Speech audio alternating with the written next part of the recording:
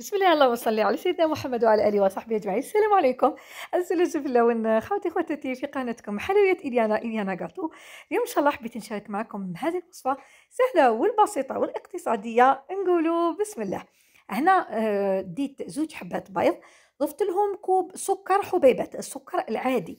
نخلطهم جيدا بالمضرب اليدوي حتى نحس باللي الخليط أصبح أبيض نوعا ما. بعد ذلك نضيف لها كوب من الزيت. الكوب تاع 220 مليلتر نخلط كذلك المكونات. مع بعض حتى ينسجم الخليط. بعد ذلك نضيف لها اثنين ملاعق كاوكاو مرحي فول سوداني مرحي أو جوز مرحي. تقدري تستغني عن الكاوكاو وتستعملي الجوز. وكذلك نضيف لها اثنين ملاعق كاكاو مر. الكاكاو العادي تاعنا في الجزائر في الدول العربية تقولوا له الكاكاو المر.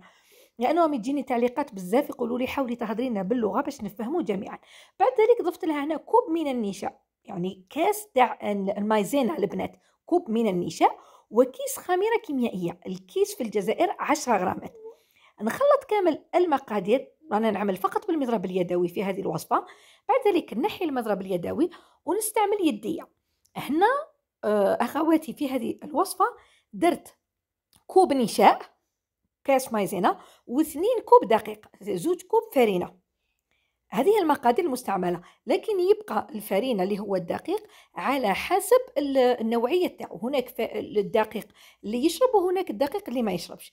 إذا كان عندكم دقيق عادي هذه هي المقادير المضبوطة لهذه الكيفية. كوب نشا واثنين كوب آه، دقيق. ملاحظة البنات البيض يكون بارد الزيت يكون بارد والنشاء هو العامل الأساسي في وصفات الزيت اللي ما تخليش الزيت يخرج. النشاء مهم جدا في هذه الوصفة اللي هي لامايزين البنات. انتبهوا بزاف لهذه الملاحظة. هذه هي العجينة اللي راح نتحصلوا عليها. بعد ذلك نجيبوا الميزان. هذه العجينة راح نستعملها باليد.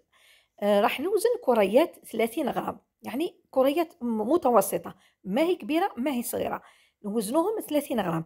في هذه الكمية إذا وزنتوهم 30 غرام راح نتحصلوا على 30 كرية اللي ما عندهاش الميزان استعملي كريات بحجم صفار البيض. يعني صفار البيض العادي استعملي كريات بهذا الحجم. في هذه الكمية أعطت لي 30 حبة. للجماعة اللي تحب الميزان إذا وزنتيهم 30 غرام راح توس... راح, ت... راح على 30 حبة.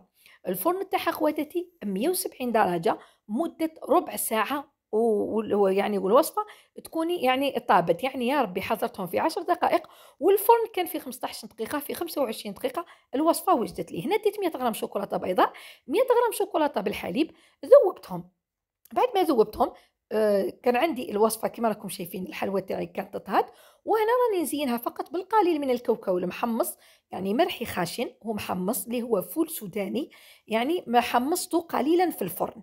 فقط والتزيين اختياري تقدروا تزينوا بالشوكولاتة البيضاء تقدروا تزينوا بالشوكولاتة بالحليب تقدروا تزينوا بالشوكولاتة السوداء تقدروا تزينوا فقط بالمربى ب la confiture وشوية كاوكاو. يعني التزيين يبقى اختياري خواتاتي. هذه هي الوصفة اللي تحصلنا عليها خواتاتي في متناول الجميع استعملت فيها 200 غرام شوكولا 100 غرام شوكولا بالحليب 100 غرام شوكولاتة آه، آه، بيضاء. آه هذه هي خواتاتي تقدروا ثاني تستعملوا جوز الهيد في مكان الكاوكاو اللي هو الفول السوداني. هذا هما الاقتراحات كامل اللي مديتهم لكم خواتاتي. إن شاء الله الوصفة تاع اليوم تكون عجبتكم. عفوا ذكر زناتي حدايين جي راكم تلهنا التلويز عرفتي ملي إن شاء الله.